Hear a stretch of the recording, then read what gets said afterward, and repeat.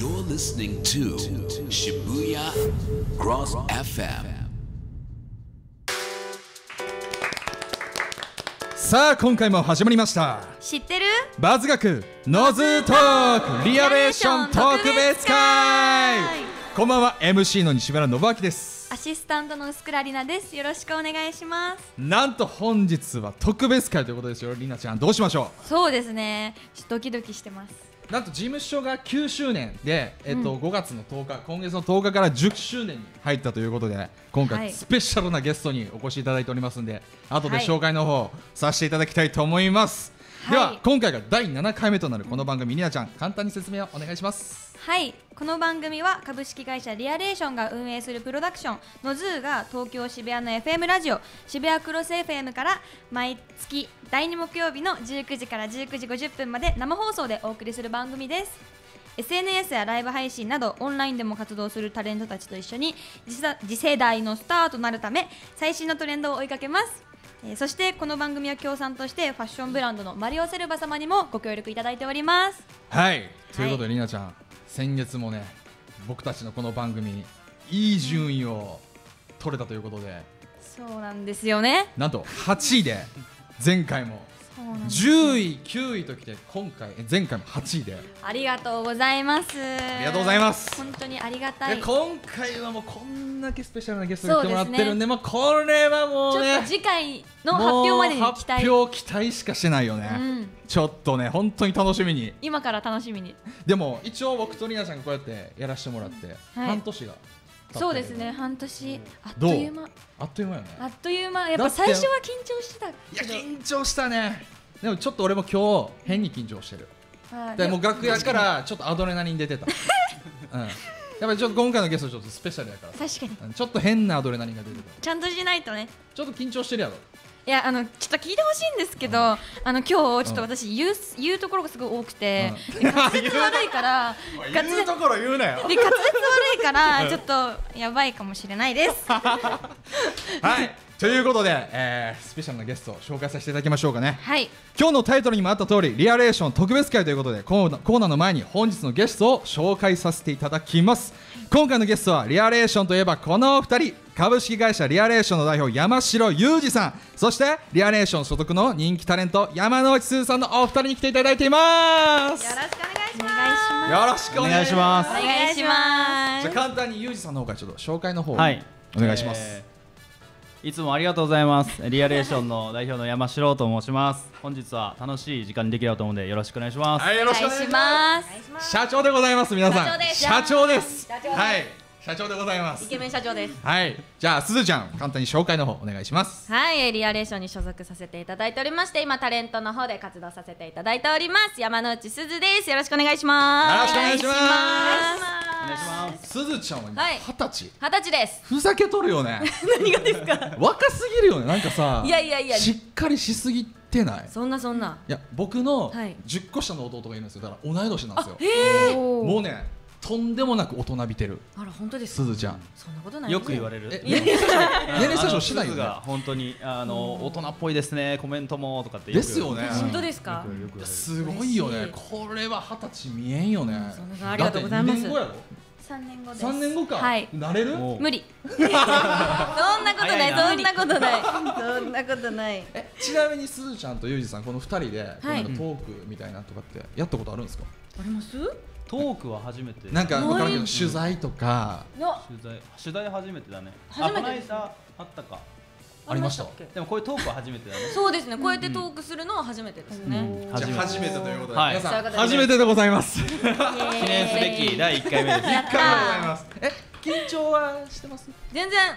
全然？見てわかる。見てわかる。すずちゃんに関しては見てわかる。確かに、楽しゆうじさんだってないんじゃないですかラジオない聞くことはねあっても全然ないっすよ。自分が喋る側ではねだって表に出てこうやってこうまあ放送もされてますし、まあ、観覧でこうやって見てもらってますけど、うん。ないっすよね。すごい不思議な感じがしてます今。だからこう見られることがね。表に顔見られないってことですかゆうじさんも。顔顔出してます？こういう形でなんか直接はないですね。ないですよね、みんなイケメメンだと思って。いや初めてね。イケメンでございます。噂のイケメン社長いやいでやすいません。すみません。ねほら。ほらえなんかある？りなちゃんこのさ2人初めましてじゃじゃないんやんだ。いや初めましてでは一応ないですね。なんやろ？はい。えすずちゃんと何だったはこの間もあの一緒にそう仕事で。そうなんです仕事一緒にしたことあるんや。でもその時ですよね初めてがちゃんちゃんと喋ったのは。そうですね。ああるんや。この間の取材の時？そうあそう。うんあーあ一緒に。一緒に。そうなそうなんです一緒一緒でした。ああ俺はったんですけど。え俺は？いやでもまあえ ちなみに俺もすずちゃんにはい。ああったっていうかまあ潜在写真を撮った時があって、はい。うん。その時にこう、まあ挨拶みたいな感じでこうしたんやけど、まあねすずちゃんねほんと口の中におにぎり詰めとってその時。もう一応なんか自己紹介してくれてるんやけど何喋ってるか一言も理解できない。だいぶ前ですよね本当ね。あもすみません山んですみたいな。ななんていやーちょっとタイミングが悪かったですね。ね。なんかずっと食べてるんで申し訳ないですそうですね。大体そんなもんですよ山之内は。通常運転ねユージさんはもうやっぱ会社に行くと事務所に行くといらっしゃいますもんね。確かに。うん。基本会議してるよね。うん。確かに。なんかもうでもいつも会社でしか会ったことないもんね。会ったことないですね、うん。もう絶対なんか何人かと会議してはる確かに。姿しか見てへんから、あなんかあそう。お疲れ様ですみたいな。なんかペコみたいな。ちょっと静かめにあ変なね気を使しかないよわせてしまってないねよね。あすーちゃんと会うんユージさんは会いますね。よく会うね。プライベートでもご飯。うんご飯一緒にあ行ったすおおす。ごい。そうなんや。そうかお酒飲めるようになったやもんね。そうなんですよね。だから嬉しかったですよね。一緒に。ね二十歳のお祝いを。したえー、そうなんや。男前すぎるんですよこの社長。何いやいや怖い怖い。何？いや二十歳の誕生日にうん20個プレゼントくれたんです。20個？そんなことあります？彼氏より彼氏みたいなことするやんみたいな彼氏やん。ねもしかしてなんかもう死者分のした彼氏ですよ彼氏なんか TikTok とかによく上がってるようなやつやなんか。一個これこれねでも記念すべき二十歳だからね。まあそうですね。二十歳は結構。これはちょっと盛大にお祝いしないとな。ありがたかった。ね。ね16で知り合ってうん。そうねもう三4年4年くら4い年か。経ったので。早いね。早いですね本当ね。4 4年になるんか。あっという間ですもん。えちなみにその20個のプレゼントでさ一番嬉しいと思ったやつ。おシャワーヘッド。あシャワーヘッド。あれやっぱめっちゃ良かったのとあとあのマッサージするやつ。あヘッドマッサージ。あそうですそうです。シャワーヘッドってめっちゃ良か何ったあのシャワーヘッド。カッパ？違います違います違います。あのつけるやつ。そうそうあのシャワーのシャーって出る。やつあああれか。うんうん。あの私がお家がすごい好きで、うん。そのお風呂とかもすごい好きっていうのを知ってくださってるから、なるほど。その鈴のおうち時間を充実できるようにっていうプレゼント彼氏やん。彼氏なんですよ。思ってたよりもちゃんとすごい絶対モテるよね。すずが二十歳になったからうん二十歳になって大人の女性に一歩踏み出したということでなるほどなんていうのあの女性のワンランクセットみたいななんかコスメとかそういうのいろいろね。すごい。と本当男前なんですよこの社長。考えてる素晴らしいこんなんされてみたい彼氏欲しいな。彼氏欲しい。なじゃあ早速最初のコーナー、はい。行っちゃいましょうか、はい。お願いします。では最初のコーナーはこちらです。知ってるリアレーション。はい、はい最初のコーナーは私たちが所属する株式会社リアレーションがどんな会社でどんなタレントがいてどんな風に私たちタレントを支えてくれているのか、番組をお聞きの皆さんに知ってもらおうというコーナーです。そうですね。なかなかこんな聞かないからちょっとうちの会社の事務所のちょっと良さとかを皆さんにお伝えできたらなと。今日たくさん。ななかなかだって事務所のことさこう話すってないやんなんかうちのないですね。事務所は。こうこうそうでみたいな。ですちね、ょっとせっかくなんでもう社長にもお越しいただいてるんで、そうですね、ちょっとたくさんユージさんからお話聞きたいなと。はいお願いします。はい、はい。はい。で番組をご覧の皆さんにも感想があればツイッターでハッシュタグカタカナでのズートークでつぶやいてみてください。ぜひよろしくお願いします。お願いしまじゃあ早速なんですけれどもちょっとこのリアレーションっていう会社をどんな会社かっていうのをちょっとユージさんにうん。お聞きしたくて、はい。教えてください、そうですね。すごい簡単に言うと、はい。えーまあ、企業の商品とかサービスを、はい。誰が何をすることによってこう話題作りができたりとか、はい。ファン作りができたりとか、はい。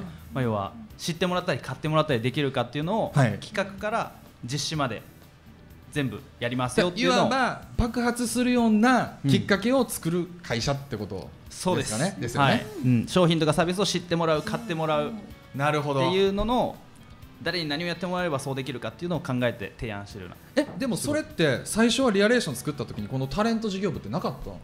2年目ですね。あ二年目このからできたんですか？プロダクションをやり始めたのは2年目。あから2年目からなんですね、うん。じゃあ最初の一年。1年目はもうそういう広告じゃないけど。1年目は最初ホームページ作ったりとかアプリとかシステム作ったりとか。初めて知った。それは知らなかったね。それは9年前だからね多分もうねいくいつだ？つランドセル背負ってるからねあでも気がするランランドセル背負ってるよね9年前。私もですね。私そう11歳そうだね。小学8校歳とか。うわつそうそれぐらいの時からだから、まあ、その時はもう今と全然違うことやってたね。えじゃあもうユージさんが作った会社ってことですよねもうそれは。そうそうそうそう。すごい。9年前。うん。だから20代前。20半20あー今の会社は23の時かな。いやすごいわ。そう23すごいわ。早いですな。時間が経つのは。本当に一日一日大事にしないとあっという間にね過ぎちゃうからね。そうですね。はいじゃあちょっとリナちゃん。あじゃあはい、私も、えーじゃあインキュベーションを、なんなんだろう作ろうと思った経緯だったりとかってありますか、そうリアレーションの中にうん。インキュベーションっていうのがあるんですよね、うん。はい、でそこに僕たちこのはいタレントそうですね。3人は所属してるんですけど、そう何なんですか？きっかけっていうか。インキュベーションを作った経緯、はい。インキュベーションを作った経緯はもともと IT の仕事とはい。芸能の仕事、えーをどっちでやろうかなみたいなところからスタートして、で最初は IT からスタートして2年目がちょっと調子よくうまくいってた時があって、はい。その時に新しいことやろうっていうので、あのー一緒にもともとモデルを今のそのインキュベーションを一緒に立ち上げたメンバーがいて、はい。その朝香っていうんですか朝香がその、はい。はい今モデルをやってて。後ろにいる彼ですね、そう。このこっちにいる彼ですね。私まだイケメンがいるんで。モデルをやってて、はい。はい。で実際にそのプレイヤーからマネジメントにプレイヤーの気持ちが分かった上で、はい。マネジメントやっていきたいっていうので、あのじゃあ一緒にやろうっていうのからスタートして。あじゃあもう2人で一緒にじゃあインキュベーションを立ち上げたって感じなんですね。立ち上げて。であのモデルの気持ちモデルとかタレントさんのはい。気持ちが僕はよく分かりますと、はい実際にこうやってきてるので、はい。だからあのそういうふうな自分が思ったところをもっと良くしてはい。いけるプロダクションを作りたいみたいなので、いや確かに、まあ、浅香さん、はい。俊太郎さんはすんげえこう僕ら目線で、うん。まあ、僕も何回か2人で差しでこう飲んだりしたことあるんですけども、すんごいその目線に立って喋ってくれるんで、うわーって思うこといっぱいあるんですよ。だってあるよねだって飲みに行ったりとかさ、ね。ご飯とか行く。そう私上京した年とかほとんど朝方しか遊んでなかったんで、もう朝会言うてるもんね。ごめんなさい。朝会言うてるもんね。私のことを見つけてくださったのも朝香さんあでそっかそっか。で上京して私も17歳で高校2年生を卒、終わったタイミング高校3年生になるタイミングでも一人で東京に出てきたので友達も知り合いもいない中でそっか本当こっちの学校一緒に通うのも一緒に行ってくれてたり、へー。あの体育の授業とかも一緒に行ってもらってたりしたぐらいにもう第二のパパやん。そうですそうです。東京のお父さんです私の。そうだからあの私が結婚するときはバージンロード歩いてねって、それはそれはすずちゃんのパパがめちゃめちゃ嫉妬する。もうでもそれ約束してるんでもう。あそうなんや。そうそれぐらい仲良しというか。あーじゃあじゃあ東京来てからもずっとそうです、ねもう何でも話せる仲です。いやもうねでもすんごい楽屋でももうタメ口でペラペラペラペラ喋ってるから。デコピン試合1個してました。そうやね。さっきもしてた。ね なるほど。えちなみに新しくまた事業部で NOZZZ っていうのができたじゃないですか、んうんこの NOZZZ っていうのは何なんなんですか？僕もちょっとあまり分かってなくて。インキュベーション、まあ、うちはその、ね、プロダクション2つ、はい。インキュベーションというのが、はい。モデルとかタレントとか。そうですね。僕らがいるところですね。そうあのいわゆるマスメディアとかはい。広告の仕事をやっていくはい。プロダクション、はい。で NOZZZ の方はライバーとかクリエイタあーーさんとかライバーさんとかクリエイターさんとか、いわゆるデジタルの仕事、デジタルメディアの仕事を多く中心に受けていくようなプロダクションでマスメディア側とデジタルメディア側に分けてプロダクションを作っていくっていうは感じかな。分かりやすく言うと。なるほど。確かに今いますもんねたくさんうちの事務所にもね、そうライブやってるライ配信とバーさん、かねね TikToker とか YouTuber とかいますもんね。クリエイターさんとかがノズの方に所属してってるようななるほど。そんな違いがあったんですね。なるほど。今知りました。いやない分からんもんね。ね。事務所に行くとなんかできたみたいな聞くけど、ん。どんな事務所かどんなこう事業なんか分からへんうんの結構あるから、今聞いててもちょっと難しい。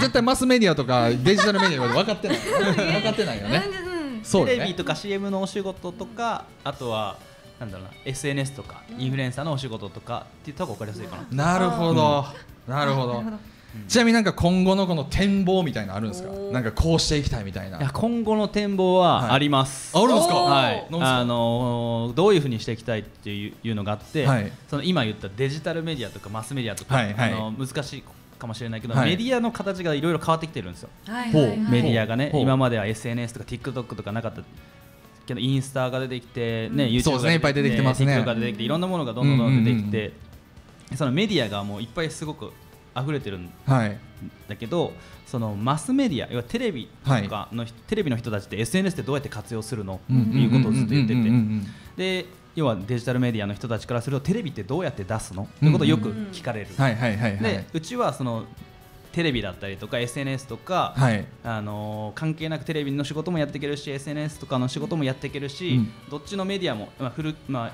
昔からあるメディアも新しくできたメディアも、両方にこう活躍の幅を広げていけるみたいなプロダクションにしていきたいなっていうのじゃあもういろんなことができるなんかうん。何かに特化したっていうよりももういろんなことができる事務所にしていきたい、うん。そうデジタルメディアマスメディアも全部、あの活躍できる場所を作っていきたいなっていう幅広い。じゃあその波に僕らも乗りましょ頑張ります。う乗させてもらいましょう、ね。はい、はい、頑張りましょう。よろしくお願いします。はい。お願いします。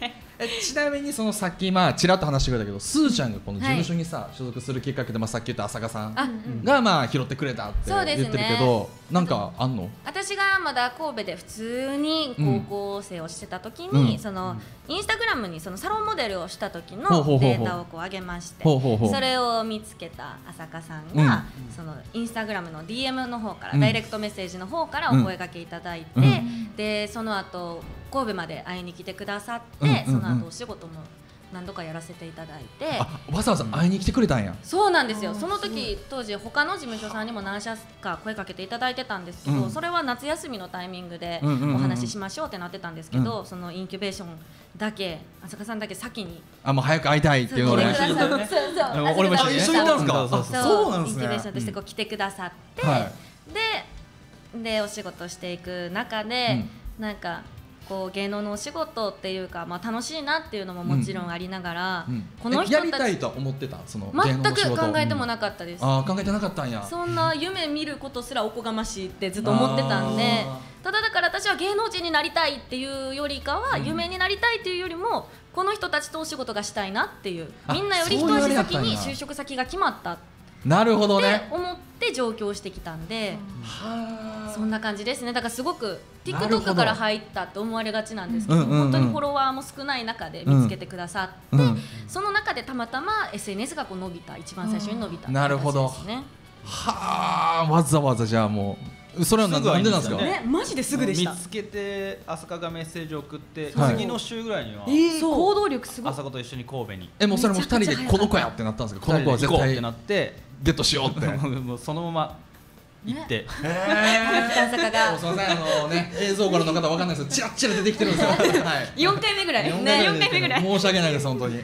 でもあそうだったんですね。あの時のでも私もそんなもともと入る気はなくて、うん。話だけ聞きに行こうと思って行ったんで、うんうんめちゃくちゃなめ腐った格好で行ってたんですよ。もうサンダルにオールバックでキャップかぶってコンビニ行くような格好ってことだね。そうお腹出して、みたいな状態で行ってたのに、なんかすごいそうやってまたちゃんとお声掛けいただけた一緒にやろうって。本当私の何がそんな良かったんやろっていまだに思いますけど。めっちゃ覚えてるわでもあの時の。こんな喋れなかったですもんね。うんそうね。なんか、ね。あの少女だったね。もう緊張緊張緊張はしてないと思うんだけどそうだ。なんかすごくうんなんかこんなに喋りはしなかったね。そうですね、じゃあこんなラフな感じじゃなかったってことですねすずちゃんは。まあ格好はラフだったけどね、だいぶねだいぶラフでしたね。だいぶラフ中身は高校生にしてはしっかりこうしっかりしてた。はいはいみたいな。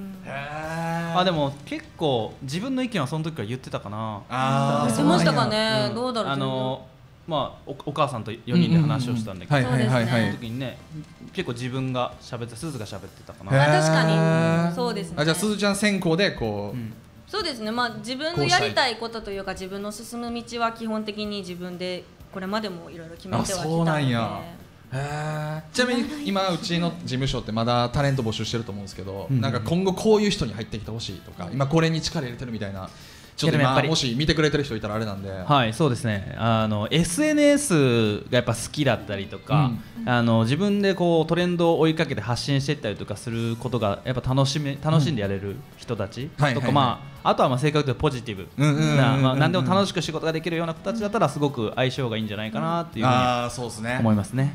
で皆さんね元気で明るくあのいやってもらってるから。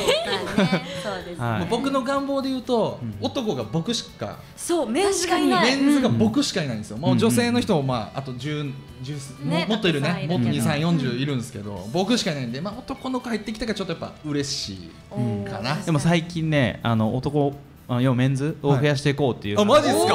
マジっすか？仲間がねあ本当ですか？ちょっと仲間やっぱ欲しいね。心細いですよねうん。さすがにね。いやもちろん事務所行く。ああなってもうた。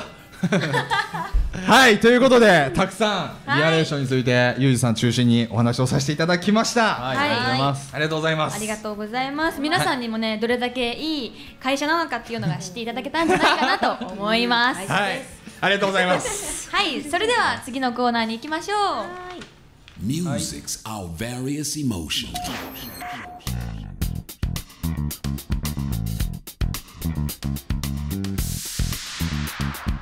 Love is the message.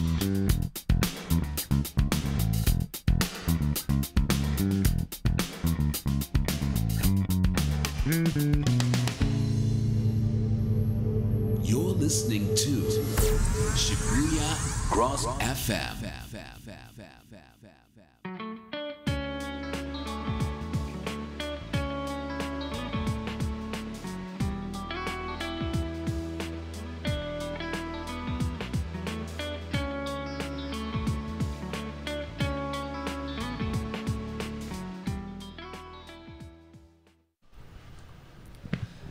続いてのコーナーはこちら。メディアの活用法を学ぼう。SNS のバズ学。はい。はい。このコーナーは今情報を入手するための手段であるメディアは多様化が進んでいます、えーテレビラジオや新聞などのマスメディアだけでなく SNS やオンラインのニュース配信などインターネットを利用したメディアの普及が進み スマートフォンでいつでも情報が入手できるようになるなど時代は大きく、え変化してきました。そしてこのコーナーは私たちタレントの最も身近な SNS というメディアについてのバズについて話し合い多様化しているメディアをうまく活用する方法を学ぼうというコーナーです。やはいよく頑張りました。できました。わかりました。ということでゲストは引き続き山城裕二さんそして山之内すずさん、そして SNS で定期的にバズるプロカメラマン高橋ひかるさんにお越しいただいております。お願いします。スペシャルゲストです。お願いします。もう解禁賞でございます。7回目です。解禁賞でございます。7回目です。はいということでじゃあもう次どんどんこのメディアのね活用法ちょっと聞いていこうかなとうんはい。思います、おーい。はい。ということでじゃあゆうじさんにまあ先ほどね簡単にマスメディアとかお話しいただいたんですけど、はいはい。なんかこうこれからこうなんだ TikTok 始めようと思ってる人とかに、なんかこうしたらこうもっとこうバズるよとかうん人気出るよとかってなんかありますか？TikTok、まあはい。それぞれのメディアによってその話題になるとか、は注目されたりバズるっていうのは多分違うと思うんですけど、はいはい。まあ、こと TikTok で言うとやっぱりトレンドの音源だったりとか、あのーそうだなトレンドの音源、まあ、あとは人気のインフルエン TikToker とかはいはい。がやってることをやっぱ真似していくっていうのがうん。一番バズりやすいというか早いかなと。それこそすずちゃんなんか真似される側ちゃう？いやだって参考にね絶対全然全然。私はもう本当に自分が楽しくやることしか考えてないので。えなんか参考にしてるとかない？なんかこうすずちゃんがさ。あります。あのとりあえず私は TikTok 撮るときは、うん。同じ事務所のあの横田未来ちゃんの未来ちゃんね。うん。動画を開くようにしてます。お。未来ちゃんを真似します私は。未来ちゃんまでしてるんや。私は未来ちゃんを参考にしてます。そうなんや。もう未来ちゃんリスペクトなんで。なるほど。はい、未来ちゃんからこうもう学びに学んで。一時期あの TikTok のあのなんていうんですか？あの設定の部分も全部未来ちゃんに託してたんですけど、それ携帯変えてからそこがリセットされてしまったんで次会う時にもう一回やってもらおうと思いながらまた 未来設定にしてもらおうってね。未来設定が一番いいんです、あれは。あそうなんや。へえ。じゃあちょっとでもね。みなちゃんもだって TikTok だってゆいさんもやられてますもんね。そうです TikTok よが始めたらしいんですよ。最近。そうなんですよ。ぜひ皆さんフォローしてあげてください。タレントのぜ私たちと一緒にね撮ったりとかもひしてるのそう撮でってるので、さっきも裏でなんかちらっと動画撮ってました。はい。先月からねなななん始めまして調べたら出てくるんですか？これですユージ社長。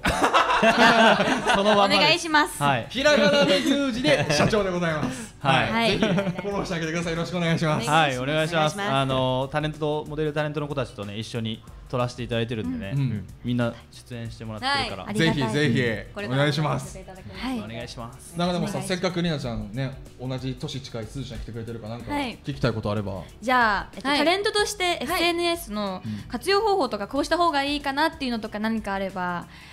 あ一番やっぱ力入れたの TikTok 全然。何？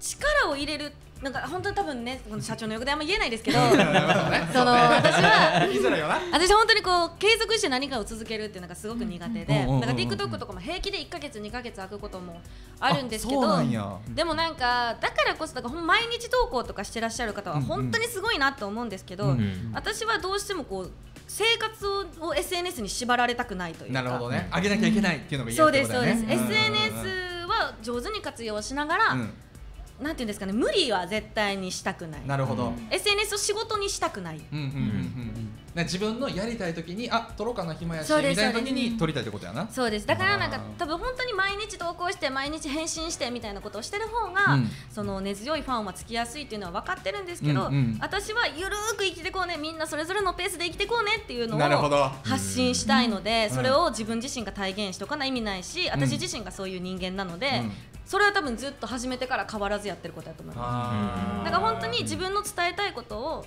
自分が一番やっとかなあかんってのは思ってるんで、うん。うんそれこそインスタグラムやったら、うん。ストーリーの機能があるから、うん。相談とかにも答えられたりやとか、うん。ツイッターやったらその瞬間のただすずが活動活動してるというか発信するだけで喜んでくれる人も喜んでくれるし、みたいな、なんか本当に楽しいよベースに。ちゃんと考えてるよね、多分これ例えばユージさんが、はい。TikTok 毎日上げろって言っても嫌、やって言うやろ、それいやいやいやいやあでできるだけ頑張りますけど、うん。ちょっと毎日頑張一週間頑張れたらまあぐらいの。そうやな。そうやな。になっちゃいますね。ね。ただもうちょっと頑張らななとは思ってます。ですも言ったことはないね、そういうね、鈴のペそうですースでね、ね。そう楽しくやれればいい。だからいいんですよインキュベーションは。らしいです。あの汲み取ってくれるというか、うんうんうん。ちゃんとこうやってこんなね社長さんが会社の一番上の方が面と向かって相談に乗ってくれるというかちゃんと対面で話してくれるっていうのは。そうやっぱちょっうん。と話しやすいっていうのは本当にそう。あるよね。俺もねそれはすごくある。いやいや。ユージさんはすごい話しやすいっていうのはいやそうなんですよ。ある。嬉しいですわ。なん。か大体やっぱ社長ってなるとさちょっとこうなんかそう。ね。年も近いもんね。近いですね。そうですね。っていうのもあるけどでもやっぱそれでもやっぱ話しやすい。話しやすい。かなコミュ力全くないりなちゃんは？えでも私 そうなんですよ。あの私あの本当喋れないんですけど。あのでも、うん。私の想像してるやっぱ社長さんって結構あもう結構ちゃんとしなきゃみたいな感じかなっていうのあるんですけど、うん。あの今日もね一緒に TikTok 撮らさせてもらったんですけど、うんうん。その時にも結構たわいもない会話とかも振ってくれたりとかうん。するので、あのなんだろうこのこんこんなに緊張しなきゃとかもなく、うんあの結構気軽に話しかけてくれるから。マイルドよね。うん。なんかこう硬くないっていうかさ。そうですね。ね。それはめっちゃありますね。なんか話しやすいっていうのはね。想像する芸能事務所の社長とは全然違う感じがしますよね。だからそれがみんなに影響してるのかわかんないですけどマネージャーさんみんなさゆるい。結構話しやすいよね。話しやすい。ありがたい。それはうちの事務所結構強みかもしれないね。そうですね。めっちゃアットホームな感じなのがめね。うんちゃくちゃいいなってそれはすごい思うね、ん。うん。多分これはもう社長が多分作ってきたうんあいやいやいや、ユージさんが作ってきた。みんながね、本当ね。めちゃめちゃ謙虚じゃない。いやいやいや本当にねあの社長まあ確かにいわゆる社長みたいな感情タイプではないかもね。いやでもこれはでもみんな多分下のねそのマネージャーやってる人たちはついてくるよね、ん。ついてきやすいと思います多分。いやみんなのがねすごいなと思ってる本当に。本当ですか、うん助けられてる本当に、えー。こういうところも素敵なんですね。いや本当ね助けられてますよ てか事務所に行くたんびにさマネージャーさん増えてへん？わかる。スタッフ見たことないスタッフえー。これね本当に。本当あるあるだと思うんですけど、びっくりする。ね。どんどん増えてくん、確かに増えてるってるね。増えてってますよね。今私この会社入ってからもうお引っ越し2回してますもんね。そうだね。私が来てからもう3個目の事務所なんあでそうなんや。うん俺前のね事務所はあのねあったけど渋谷さ一番最初すごかったですよね。一番最初ねそうだね。もうなんかありえん急な階段をこう登った先の2階のなんか会議室みたいなのがあって。そうだ。無機質な感じのね。あれもう夏場もそこ登るだけで汗だくなるんですよ。すごかった。いやだって前のその1個前の事務所ですらさ結構快適やった広くてさ、今の事務所も超でかい。っすよめちゃめちゃ広い超広いんですよ。いやいやいやもうね。まあ確かに前の事務所から3倍ぐらいだったかな。ああ、うん。3倍か。その前の事務所から。だってなんか撮影するためのさ、ねスタジオもあって。そこでねヒカルさんに僕ら宣材写真。そうなんですよいやね撮っていただいたんで。撮りました。ありがとうございますいやもうありがとう。でいえこちらこそ。めちゃめちゃいい感じ。もうあの写真。やべえよな。やべえよいやもう僕あそこ毎日使いたいですもんね。な自分のスタジオとしてあそこに出勤してありがとうございますぜひ使ってくださいなるほど、そうか。なんかある？じゃあ私あのヒカルさんにお言っていいですか、はい。おツイッターやインスタグラムとかで、写真の見せ方にについてなんかメディアをこうしたらこう活用したらいいよとかっていうのってありますか？おこう活用したら、うん。まあそうですね。なんかなあまあことバズるとかに関してで言えば、はい。あのー結局最初自分のことをフォローしてくれてる人に反応してもらわないとそこからやっぱ広がっていまあかないんで,、そうですね。はいなんか、はい。自分をフォローしてくれてる人がはい。どういう層なのかっていうのを結局なんかマーケティングじゃないけど、把握しないと調べなきゃいけなくて。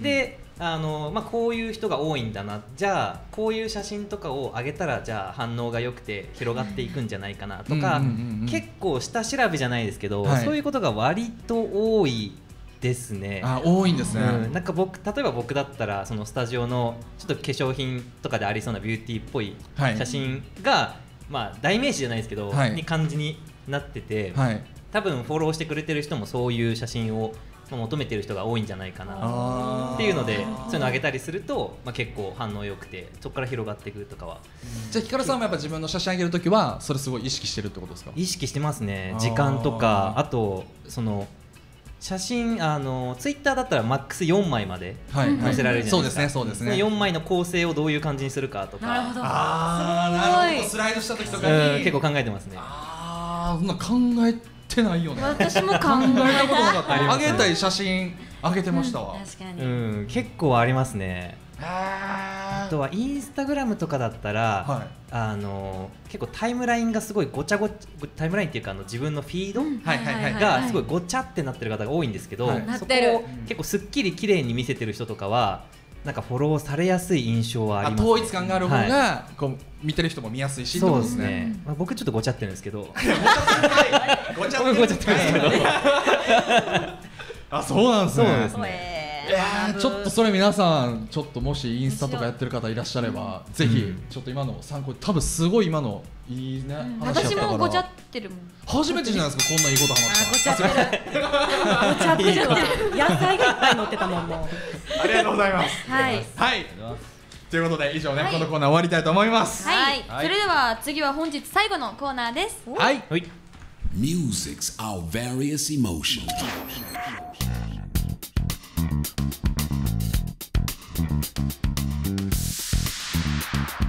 Love is the message.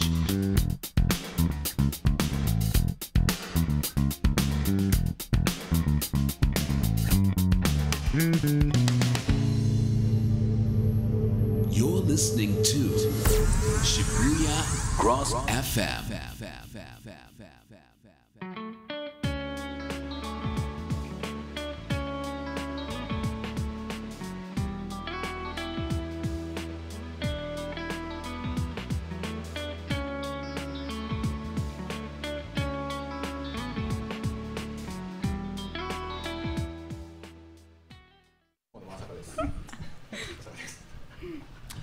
続いてのコーナーはこちら。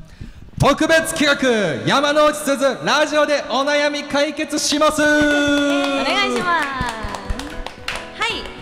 コーナーは今回特別ゲストとして来てで来ていただいた山之内すずさんに事前に募集したお悩みや番組中につぶやかれてるお悩みをリアルタイムでお答えしちゃうコーナーです、えーもちろんお悩みだけではなく普通の質問でも大丈夫です。はい、えーお悩みがある皆さんノズハッシュタグノズトークでツイートしていただければ気になるお便り僕たち拾わせていただきますんでどしどし応募してください。よろしくお願いします。お願いしますはい。そして番組最後に紹介したお悩みの中からベストオブ悩んでいる相談をお送りしていただいた方には少しでもお悩みが解決できるように番組で撮影したサイン入りチェキをプレゼントさせていただきます。はい。送らせていただきますんで皆さんぜひ応募してください。はいお待ちしてます。では、えー、すーちゃんね、はい。もっともっとなんかあんまや結構やってた？なんかそういう質問。そうですね。多分3コーナーみたいな。年前くらいからインスタグラムのストーリーでお悩み相談みたいなものは答えてて、あるよね。なんかさお悩みあそうです。あるよね。それで今ハイライトトにも昔の分も残してたりはするんですけど。あそうなんや。じゃあ結構答えてるんや、そうですね。あじゃあもうこんな今日の質問なんかもちゃんのこさえさんいやいやいやいや。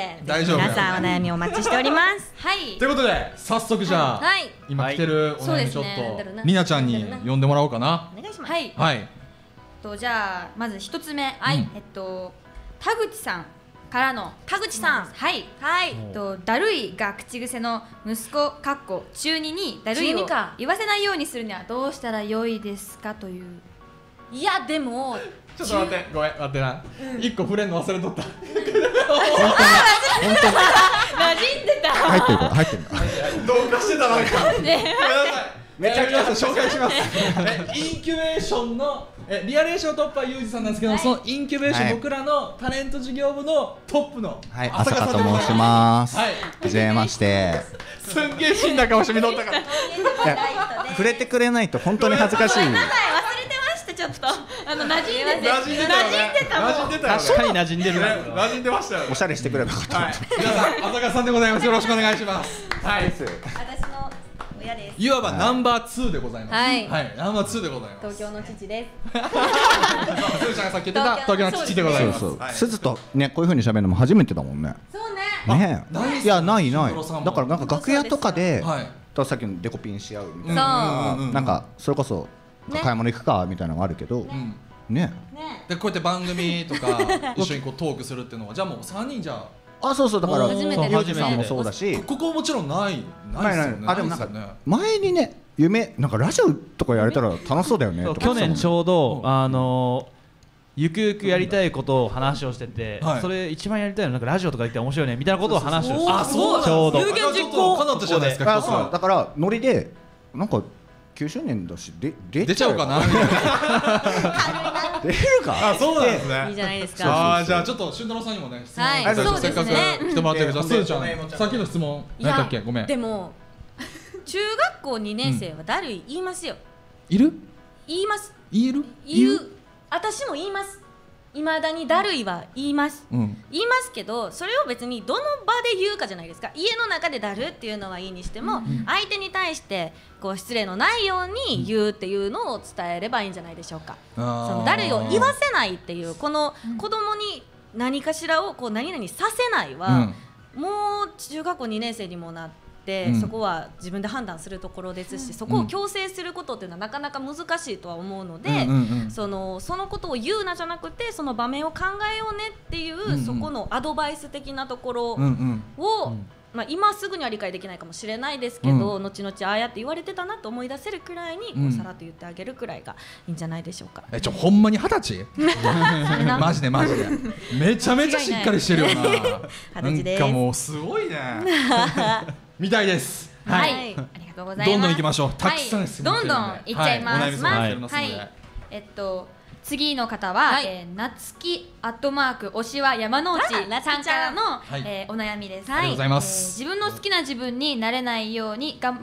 自分の好きな自分になれるように頑張っていてもつい自分の嫌な部分が目に入ったり失敗したりしたりしたりした時すいません。した時に、えーそれを引きずって落ち込んでしまうことがあります、自分の嫌な部分はどう改善したらいいのか、えー自分を好きになれるなれたすずちゃんに聞いてみたいですということです。なるほど。そうですね。今私はやっと自分のことを好きって公言できるようにはなったんですけど、うん。私も自分のなりたい自分っていうものはそもそもあんまりなくてとかあ答えられなくてだからこそ自分のなりたくない自分をすごく大事にしてて、うんうん。こうはなりたくないこうやってしたことのある人になりたくない。うんうん。っていうのはずっと掲げ続けてるのでうん。いま、未だに自己嫌悪に陥ることもあるけどあくまで自分は自分。人は人、うん。自分が今求められてる状況は何なのかお仕事のことだったり、うん。そうですけどそのなんて言うんでしょう。自分が求められてること必要とされてる立ち位置、うん。そこに対してこう自分のやりたいことをどううまく組み込めるのかっていうのは日々考えてますけど、うん。こう引きずらないようになったのは本当に多分自分を好きになってからなので、自分の嫌な部分が見えるっていうのは自分で自分の直せるところを自分で見つめ直せるっていう素晴らしい考えいい風に考えるとポジティブな面もあると思うので、うん。ネガティブな面は大事にしつつ、うん。そこから学ぶものを自分でどんどんどんどんクリアしていって少しずつ自分を認めてあげられる材料を増やしていくっていうのが私は10代ですごく大事にしてた過程ではあるなって思います。ごめんもう一回言っていい？ほんまに二十歳？なあ普通にも聞き入っちゃってたわ。うんうんうんって。すげえ勉強になったん。だよね恥ずかしい。参まあでもやっぱ自分のねやっぱ嫌なとこってやっぱどうしても目いってしまうやん。例えばその性格のこともあるしさ、うん。自分の顔とかもさやっぱさ、ね。あここが嫌やなとかさ思ったりやっぱ めっちゃうなずくやん。毎日やみそうになってます。なんかねやっぱあったりするけどやっぱねちょっとずつやっぱ克服ねしてかんとね。考え方を少しずつ変えていくっていうのがそうね、うん、一番かな。変えられるもんね中身。変えようと思ったらちゃんとか無理やり自分がにでもぷネガティブな自分に、うん。もう自分が本心でそう思ってなくてもポジティブな自分をどこかに残しといて、うん。いやでも自分こんなとこあるやんって嘘でも言える自分を大事にしてたら少しずつその割合がどんどんどんどん増えてきて、うん。ナチュラルに自分を認められる時間っていうのが私は少しずつ増えてきたので私もまだまだ改善すべきところはたくさんありますけど、うん。これからもいい意味で自分と向き合って自分のダメなところは自分で探して、うん。そこはこれからもずっと成長していけたらなと思ってるので一緒に頑張っていきたいです。素晴らしいね素晴らしい回答やね、うん。よく 行きましたね神戸にね。本当にね。よく見つけましたね。大人になったね本当ね。いくつになったの？なったのなったね。二十歳になったもんね。うんね。じゃあねまた次行きましょうか、はい。質問の方。はいえー続いて、えーはい。若菜さんからの質問です。若菜さん。はい。えー計画を立てて物事をこなすことが大の苦手でいつも課題ややるべきことを終わらせるのがギリギリになってしまいます、うんうんえーコツコツやろうと思っていても明日でいいやのメンタルになってしまう私から脱却するために何かアドバイスが欲しいです、まやばいな。全く一緒。私も。一緒私も全く一緒。えお二人どうですか？宿題夏休みの宿題とか残してる方でした？前日にやってたね 同じだ。同じだ。私も夏休みの宿題を冬休み後に出した人間なんで。やばいなそれ。やめなさいやめなさい言わないやめなさいやめなさい。両心臓やん。そう。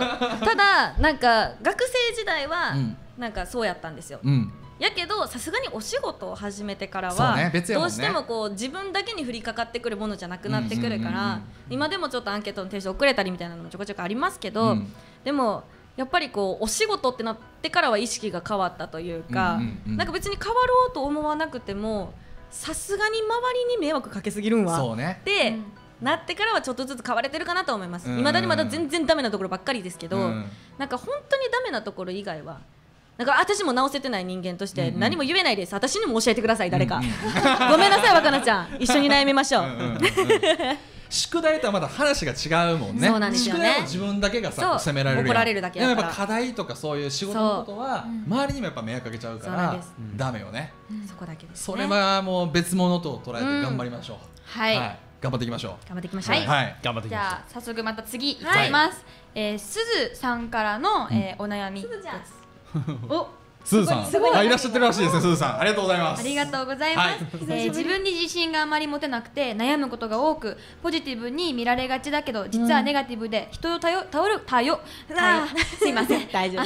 頼ることも苦手ですずちゃんは悩んだ時何をしてますか、えーよかったら教えてください。あとガールズアワード行きます。久しぶりに会えるの楽しみにしてます。楽しみにしてるよが嬉しい。久しぶりにちょっとネガティブ系多いねまあでもそうですね。ポジティブなやっぱ印象があるんでしょうねそのもともとね私が答えてる内普段答えてる内容がうん。結構ネガなというか結構深いものが多くて私自身もそういう経験をたくさんしてたからっていうのもあるんですけど、うん。私自身も学生時代というか10代の頃は人に悩みを打ち明けるみたいなものがすごく苦手でうん。自分でも気づかないところに自分の辛いやったり苦しいっていう感情をうん。隠せてしまうがゆえに限界まで気づけない人間なんですよああなるほどね。で少しずつ少しずつ表に出せるようになって人に言う言うことによって生まれるメリットやったりデメリットやったりどちらもあるんですけど、うん。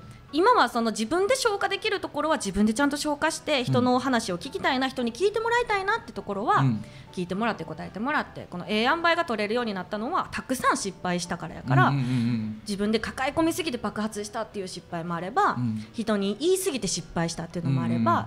結局なんか何においてもそうですけど経験から学ぶものがほとんどやなって思うので、なんか悩みを打ち明けれないってなったらとりあえず私は文字にするっていうのをずっと言ってるんですけど言葉にすることはできなくても声に出すことはできなくても、ん。自分のメモの中だけでもまとめてみたりやとか、うん。私がファンの方に伝えてるのは私のダイレクトメッセージを活用してもらって、そのみんなの分私は読んでるから、うん。その第三者やから深い関わりはないから、うん。こそ言いやすいことだったりもあると思うし、自分の思ってること辛いことを文字に起こすだけで自分の頭が整理できてうん自分で受け入れられるっていうことを実際に自分が経験してるから、うん。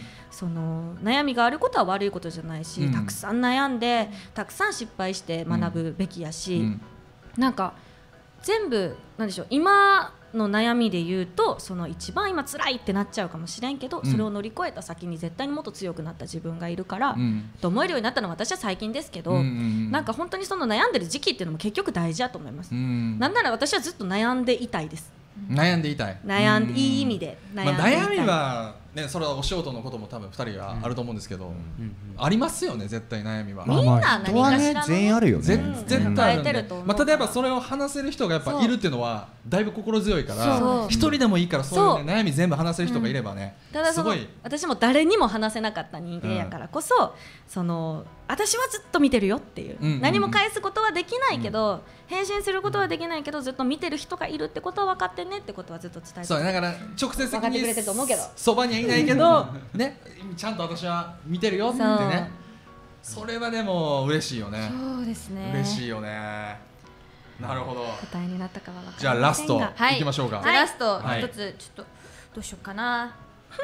じゃあ、えー、みなちょさんからの。みなちゃさん。みなちょさん。はい。はい、と進路に悩む若い子にメッセージをいただきたいです。だそうです。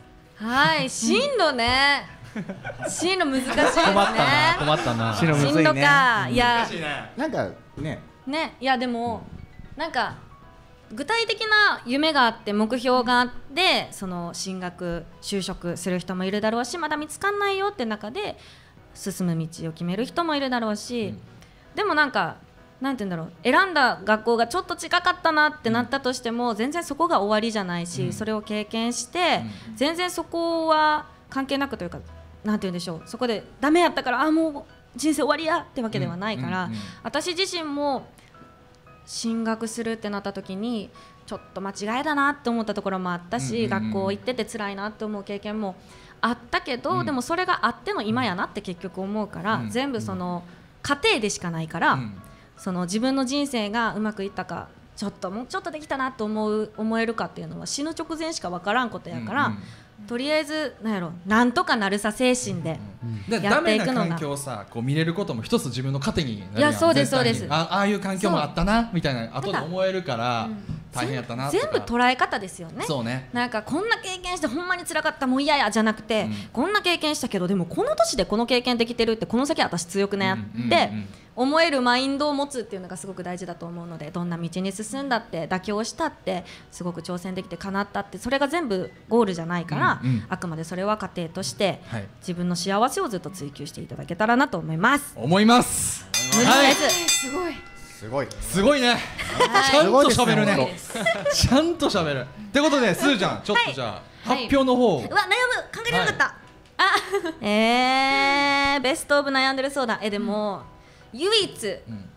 答えられなかった相談、えー提出期限だったりだとか、うん。そういうものを守れない、あれはもうあの私も分かんないので、うん。一緒に悩んでいこうっていう意味で何えちゃん。と若菜さん。若菜ちゃん。若菜さんにじゃあサイン入りチェキの方をプレゼントさせていただきたい。と思います。